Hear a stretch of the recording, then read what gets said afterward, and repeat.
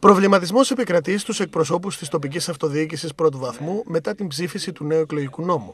Ο χρόνος που απομένει ως την εκλογική διαδικασία θεωρείται λίγος.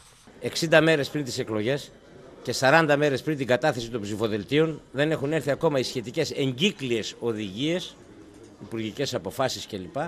για να ξέρει ο κάθε δήμαρχος και ο κάθε δημοτικός σύμβουλος τι μέλη γενέστε. Είναι πολλά τα θέματα τα οποία έχουν τεθεί.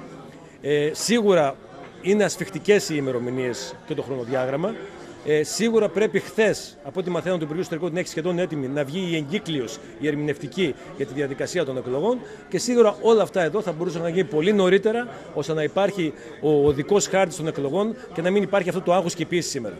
Η διεξαγωγή των τετραπλών εκλογών της 26η Μαου δεν απαιτεί μόνο την αριθμητική αύξηση των εκλογικών τμήματων με την αντίστοιχη ανατμήμα μείωση του αριθμού των εγγεγραμμένων ψηφοφόρων, αλλά απαιτεί και την έγκαιρη εξέβριση και κατάλληλη προετοιμασία. Με την εμπειρία που έχουμε στα αυτοδιοικητικά θα είναι πολύ δύσκολο να μπορεί να διοικηθεί ένας Δήμος κατά αυτόν τον τρόπο και με τη διαδικασία έτσι όπως προβλέπει ο Κλεισθένης. Εγώ θεωρώ ότι ε, στην Καραμαλιά ξεκινήσαμε μια τέτοιου είδους προσπάθεια και σε επίπεδο συνεργασιών και σε σύγκληση ε, προγραμματικών θέσεων για το καλό του, της Καλαμαριάς και θεωρώ ότι αυτά τα αποτελέσματα θα φανούν αμέσως μετά τις εκλογές. Η εγκατάσταση των νέων αρχών θα γίνει 1η Σεπτεμβρίου του 2019 και η θητεία τους λήγει 31 Δεκεμβρίου το 2023. Ο Κριστένης είναι μια ιστορία η οποία θα πλήξει την αυτοδιοίκηση. Έχει πολλά προβλήματα. Πιστεύω ότι θα αναδειχθούν κατά τη διάρκεια της θητείας των νέων δημάρχων.